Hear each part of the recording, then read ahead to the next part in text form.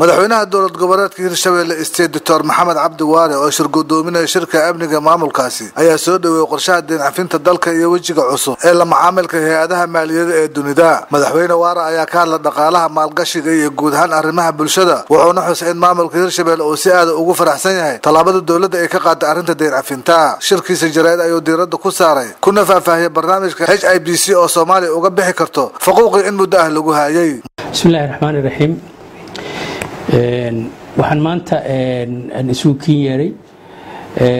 Inaan idii muujiyo. Sida aan ugu faraxsannahay. U soo dhoweynayno barnaamijka deyn cafinta oo runtii maanta la gaaray milestone ama meel aada muhiim u ah. Waxaa runtii sharaf noo ah. Dadaal dheerna loo soo galay dadaal runtii aan loo kala harin.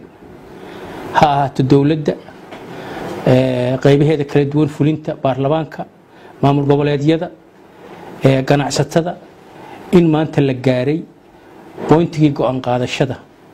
Ama waxaa loo yaqaano decision point oo soomaaliya deyntana looga cafinayo qaybna ay uga noqonayso bulshada caalamka iyo sistamka dhaqaalaha adduunka.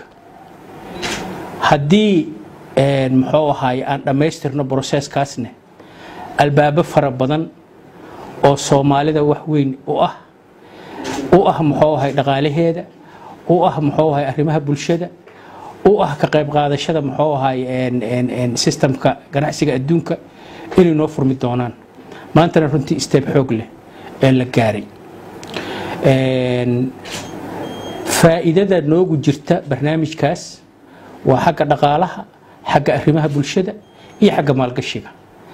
Xagga muxuu ahay dhaqaalaha albaabkii ugu horeeyey oo ahaa inaan la macaamilno hay'adaha u qaabilsan ee maaliyadda adduunka sida bangiga adduunka iyo muxuu ahay i m f ama hay'adda lacagta adduunka inaan maanta ka nahay xubin la aqoonsan yahay adduunkuna istaabkaasoon la qaadin.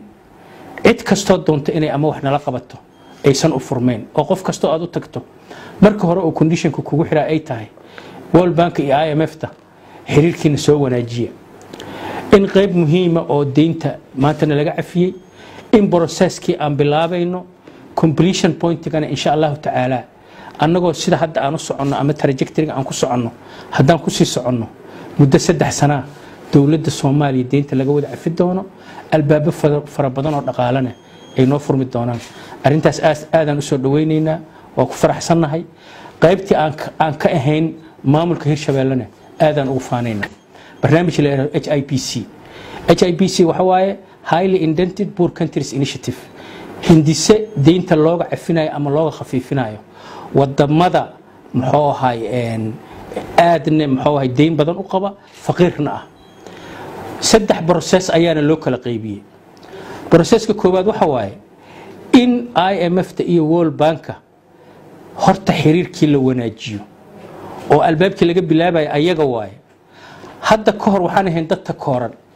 Sistamka adduunyada aan muxuu ahay ka qayb ahayn bangiyadeenu adduunyada ka xiran lc aan la furi karin muxuu ahay adduunyada aan lala ganacsan karin wadanka aan la maalgasho karin. Steebka koobaad marka waxa waaye i m f ta iyo world banka inaan tacaamul la sameyno oo aan la muxuu ahay aan la dhiilgarayno qaybta ku xigta waxa waaye deymankay ayagu nagu lahaayeen oo runtii muxuu ahay qaybta ugu muhiimsan ah in la bixiyo. Qaybtaas waa la bixiyey runtii dadaal dowladdu ay u gashay wadamo saaxiiba iyo deeqaxyaal badanna ayna damaanad qaadeen ayaa lagu bixiyey. Ilaa ayaa hal bilyan iyo toddoba boqol ayaa la baxshay oo ah qaybtii ah muxuu ahay wadamadaas hay'adahaas i m t world bank.